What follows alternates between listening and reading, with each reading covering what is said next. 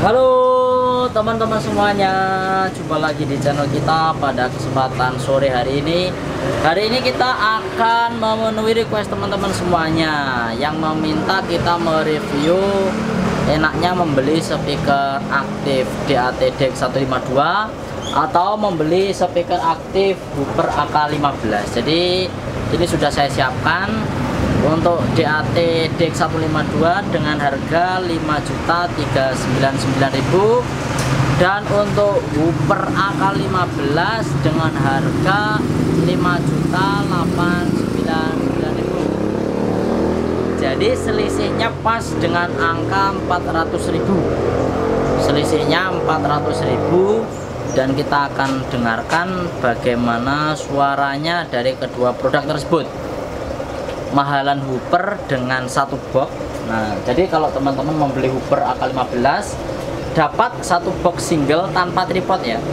Tanpa tripod dengan harga 5.899.000 kalau teman-teman membeli DX152 nanti dapat dapat satu set seperti ini kanan dan kiri dengan menggunakan empat speaker. Jadi nanti uh, perbedaan harga harganya lebih murah yang DAT dapat 4 speaker lebih murah 400.000 kalau membeli yang ini lebih mahal 400.000 dapatnya satu speaker 15 nah jadi sekarang kita akan mengetes. Nanti teman-teman silahkan menilai sendiri pengennya yang mana dan mau digunakan untuk apa biar teman-teman tahu karakternya seperti apa dan juga bedanya apa.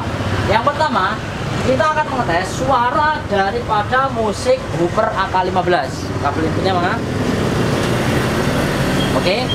Sekarang kita akan mengetes suara daripada di uh, Hooper AK15 kalau digunakan untuk musik. Biar teman-teman tahu kalau seumpamanya nanti mau membeli mau milih yang mana antara kedua buah speaker tersebut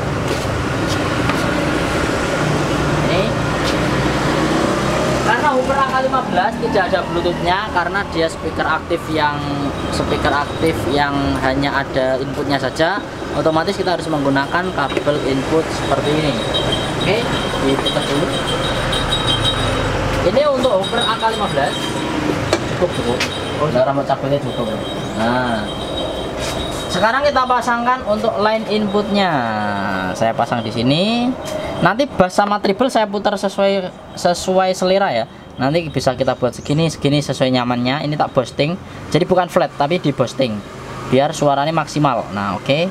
sekarang kita akan langsung mengetes Super AK15 single. Satu buah Hooper AK15 bagaimana suaranya? Dan bedanya apa? Nanti dengan speaker DAT DEC 152 yang double kanan dan kiri. Harganya lebih mahal Hooper daripada DAT terus nanti istimewanya daripada kedua buah produk tersebut apa? Teman-teman langsung bisa menilai sendiri oke? Okay? hadapkan ke depan? Sekarang kita akan tes Hooper AK15 dengan musik DJ oke? Okay? oh, oh, pas ini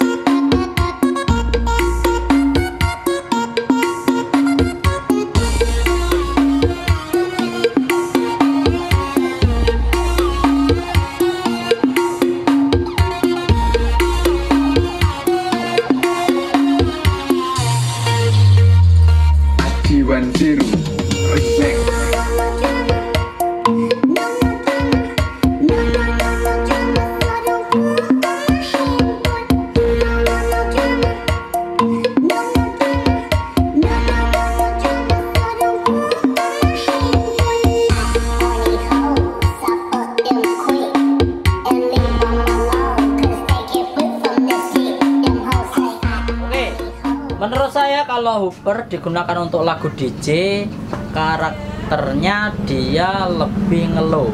Jadi gelernya kurang keluar. Jadi low-nya lebih tebal daripada rendahnya. Rendahnya nggak ada jadi kurang render tapi ngelow. Nah teman-teman lihat di belakang tadi untuk pengaturan bassnya saya maksimalkan ya. Ini sudah maksimal bass. Kalau treble segini volume segini segini. Oke sekarang kita tes. Kalau untuk lagu dangdut. Sekarang naik tinggu lagu dangdut kalau digunakan untuk DJ dia lebih keluar ke suara ngeluh. Jadi nenggu DJ kurang enak geleri kurang der kayak gitu. Nah sekarang naik di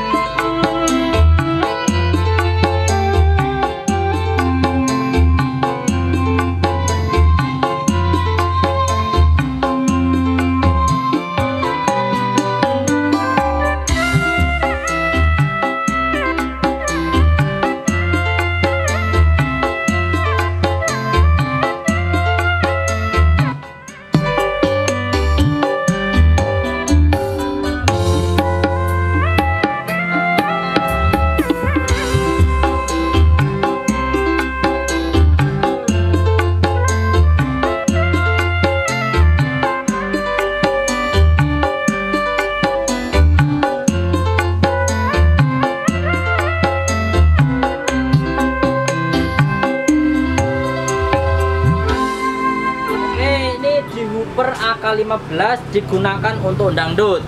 Responnya bagus banget. Lo-nya bisa dudut-dudut suara middle nyaman. Itu per AK15 ketika digunakan untuk dangdut. Jadi like di dangdut dia lebih respon.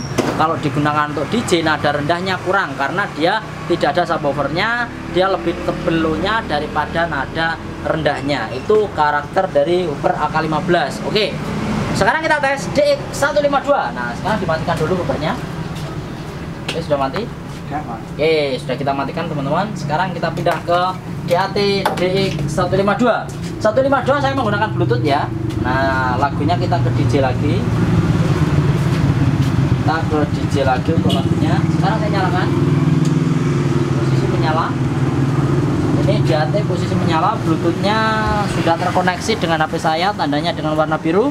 Oke, langsung aja kita tes DJ dulu untuk DAT DX152. Nanti dengan lagu yang sama, DJ sama, dangdut sama. Teman-teman lebih suka yang mana? Oke, sekarang kita tes untuk DX152.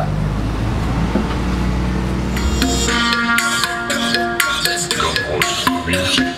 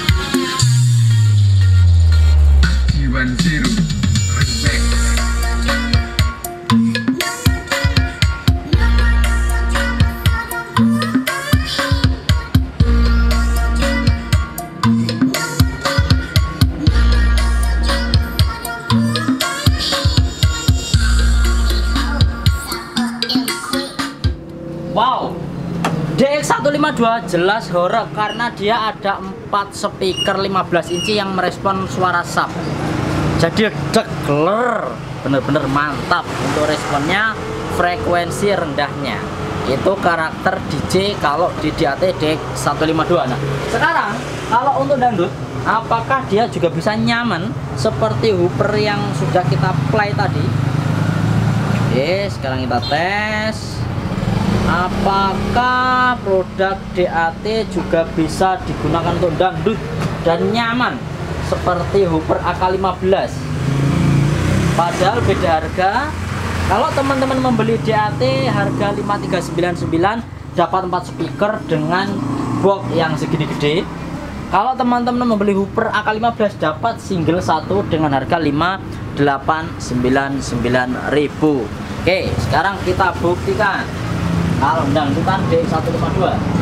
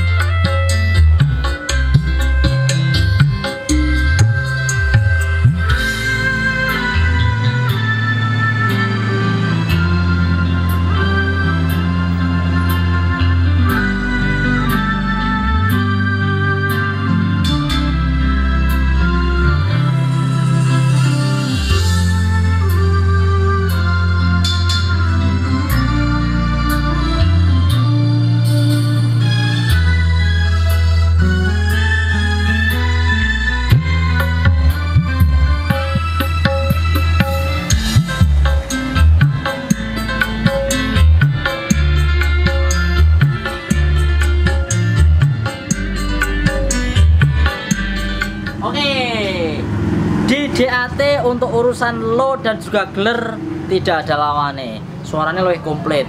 Tapi untuk clarity Hooper tadi lebih juara. Jadi suara flatnya lebih dapat Hooper. Jadi secara suara seperti gitar, melodi ketipu, dutnya dia lebih bulat, padat dengan flatnya bagus banget di Hooper AK15 tapi di DAT flatnya ya namanya ini model-model seperti ini menurut saya untuk clarity-nya ya hampir tidak bisa kita nikmati tapi dia untuk kompletan suara low frekuensi dan juga gelernya lebih komplit. Dutnya keluar gelernya juga metu. Tapi kalau ini lebih ke ngelow dan juga lebih ke clarity untuk horn dan twitter. Itu bedanya. Teman-teman silahkan menilai sendiri. Mereka memiliki kelebihan masing-masing. Tergantung teman-teman. Mau suka Hooper AK15 atau suka dari produknya DAT DX152 silahkan pilih sendiri sekarang kita akan melakukan pengujian mikrofon nah sekarang kita akan melakukan pengujian di mikrofon Hooper AK15 dulu dan juga DAT DX152 oke sekarang untuk Hooper AK15 saya kecilkan dulu volume input ya. Volume input yang kecilkan posisi flat. Nah kalau menguji mic kita posisi flat biar nggak feedback. Inputnya biasa mas. Oh, iya. nah inputnya langsung pakai kabel kayak gini aja. Maksud diater guys sekitar anu kayak gitu oke ya. Ini saya hubungkan ke input satu mikrofon di Hooper AK15 oke sudah terhubung. Yang input HP saya lepas. Sekarang kita tes untuk mic-nya. Posisi flat ya. Kalau mikrofon saya harapkan untuk posisi di flat. Cek cek tes 12 oke hadapkan ke depan. Cek cek tes 12 biar nggak feedback kita tes hadapan ke depan. Hooper AK15 jig long tes 12 jig A. Ini posisi flat. Saya di depan speaker jig A. Di depan speaker jarak setengah meter. Ini posisi di depan speaker jarak ini. Ini setengah meter posisi volume flat. Ini tadi di bass sama triple saya flat. Cek A low tes 12 tidak feedback sama sekali. Tidak feedback. Flatnya berarti speaker ini bagus. Tidak feedback ketika saya di depan mikrofon. Ini ya. Dan untuk karakter suara untuk Hooper AK15 yang pertama tidak feedback meskipun saya di depan speaker langsung.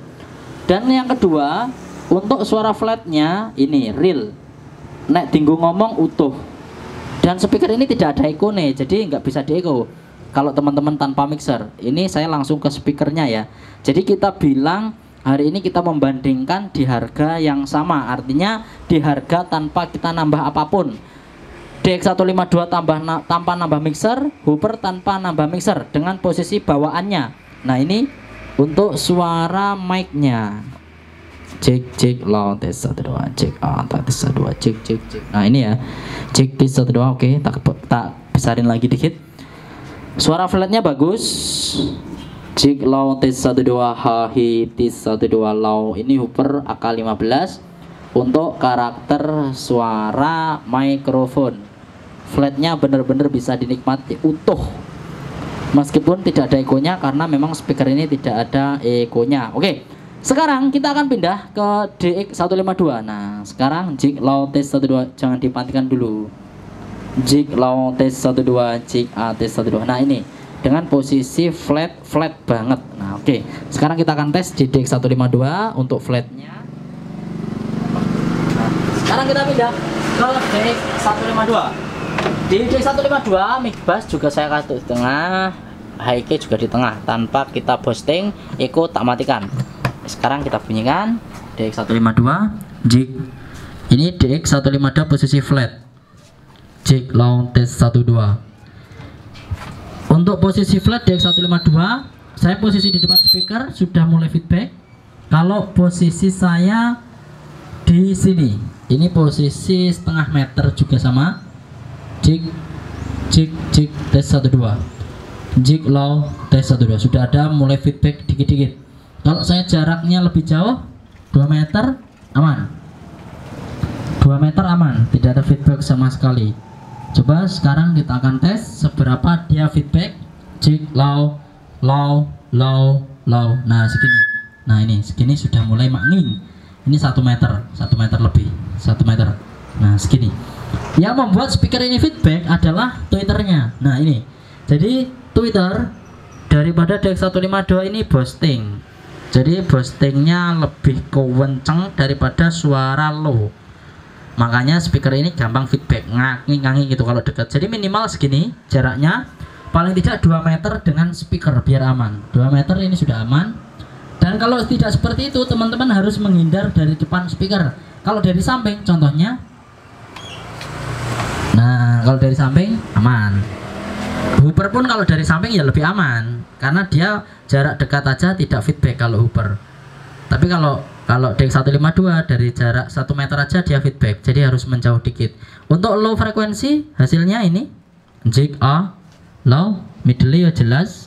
Twitter ya enggak terlalu cas tapi cuman low lebih ngelow suaranya karena ada subwoofer nah sekarang kalau kasih echo jig nah ini ada bawaan ekonya di DX152 kalau untuk berakal 15 tidak ada karena memang dia hanya speaker flat, tidak ada bawaan echo dan juga fitur yang lain seperti USB dan lain-lain. Oke? Nah, hari ini sudah terjawab sudah teman-teman. Jadi memang beda karakter antara speaker Hooper AK15 dan DX152. Buat teman-teman yang mencari speaker flat, karakternya lebih masuk untuk dangdutan biar flat, untuk bin-binan biar flat bisa memilih Hooper AK15 dengan suara low yang tebal dan juga suara flat yang bagus itu menurut saya. Dan dia tidak mudah feedback. Tapi kalau teman-teman pengen sing lebih murah harganya tapi dia sudah dapat empat speaker dapat subwoofer clear tinggal musikan sudah ada derdernya teman-teman bisa memilih DAT DX 152 tapi kalau untuk mikrofon dan lain-lain dia mudah feedback seperti yang sudah kita contohkan.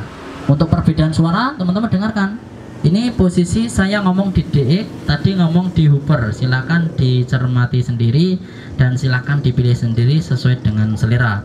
Hooper AK15 dengan satu buah speaker dengan harga 5.899.000 dan juga DAT DX152 dua buah speaker dan 4 komponen 15 inci dengan harga hanya 5 juta 5 juta 399.000 jadi itu mereka mempunyai kelebihan dan juga karakter masing-masing.